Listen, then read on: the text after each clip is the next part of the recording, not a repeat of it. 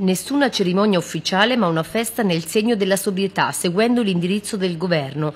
Così l'Arma dei Carabinieri ha deciso di festeggiare il suo 199 anniversario che ricorre il 5 giugno. Una scelta che comunque non ridimensiona l'attività e i risultati soddisfacenti sul territorio che vede i carabinieri impegnati su più fronti, a scopo preventivo e repressivo. Ogni giorno in provincia di Macerata l'Arma effettua una media di 59 perquisizioni impegnando 120 militari. Le risorse diminuiscono sottolinea il colonnello Di Stefano, ma cerchiamo di mantenere lo stesso livello di servizi considerando che l'Arma dei Carabinieri in provincia di Macerata è presente in 40 comuni su 57 con altrettante stazioni. Nel corso del 2012 vi è stata una riduzione del totale dei delitti consumati pari almeno 8,93% rispetto al 2011 con un trend confermato ampiamente per il primo quadrimestre del 2013 meno 12,21%. Calo anche per le rapine, specie dopo le importanti operazioni realizzate realizzate, tra cui quella che ha assicurato alla giustizia una banda di albanesi specializzata che si era infiltrata nel territorio mettendo a segno una serie di colpi. Insieme ai reati contro il patrimonio resta alta l'attenzione sulla lotta allo spaccio di stupefacenti,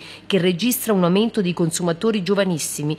Proprio per questo si intensifica l'attività di prevenzione nelle scuole a partire dalle medie. Altro dato da tenere d'occhio è la possibile correlazione tra immigrazione e criminalità, poiché molti immigrati dei 32.314 regolari sono a rischio disoccupazione e quindi irregolarità. In vista dell'estate l'impegno dell'arma si intensificherà con servizi mirati lungo la costa.